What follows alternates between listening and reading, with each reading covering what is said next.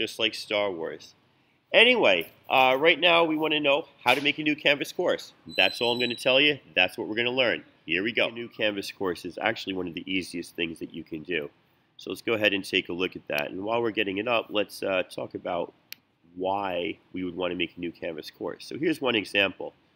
I have an advisory course for spring, fall, and winter trimester. Mr. Mathis has an advisory course for small for spring, fall, and winter trimester. Mr. Mathis and I also both have a year-long course for advisory. So we have four advisory courses made for us by the district. That's a waste. We teach web advisory together. We want all that information in one place. So right down here, I made the Miller Mathis Amazing Compendium of web advisory info, and we've put everything in that. And that's, uh, for me, that's the easiest way to go ahead and, uh, or that's one reason that you'd want to have a new course, is if you're teaching something where the people in that course don't necessarily follow um, the people that Bethel puts in that course for you. Uh, I also have one for my after-school robotics team. If I want to put information for them, it goes into the Canvas course. So, courses all courses,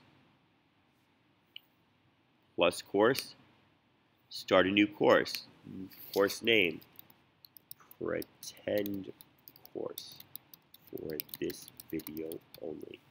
Uh, yes, it's copyrighted because you can't ever use anything I put in this course. Create course. There's the course. So make sure that when you're ready, you publish the course right? It's going to ask you what you want to publish. Uh, I guess it won't let me publish anything because I have to set my front page first. Okay. So I've got a course here. There's nothing in it. Nothing is done. Uh, but I actually have the course. So let me show, show you those two things that you need to uh, get it. Let's go to Choose Home Page. My home page will be Course Modules. Save. Will let me publish it now. It won't let me publish it now because I actually need something in those modules. So here we go just something.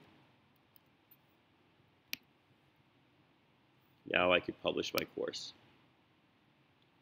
It's published. Okay, uh, how do you get people to this course? That's the second question. No, I'll make that another video so I can keep these videos short.